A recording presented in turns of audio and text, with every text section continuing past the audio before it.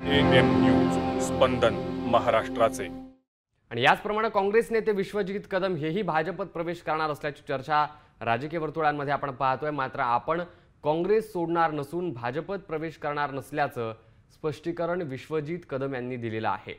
आपल्या भाजप प्रवेशाच्या बातम्या निराधार असल्याचं त्यांनी म्हटलंय.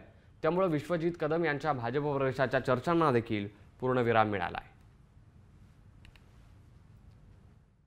एम न्यूज स्पंदन महाराष्ट्राचे.